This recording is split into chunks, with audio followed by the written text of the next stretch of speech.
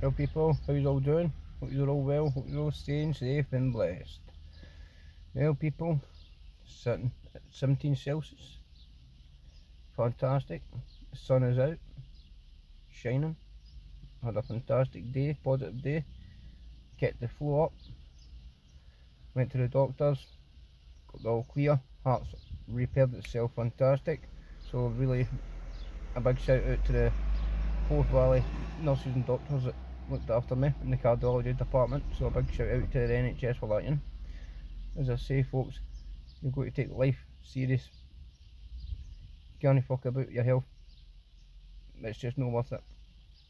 So as I say folks, please join me on Friday at 7.30 to dis sorry, to discuss about things. Um, let's see, and let's try and get a bit of BKB Scotland. Gloves up, drugs down.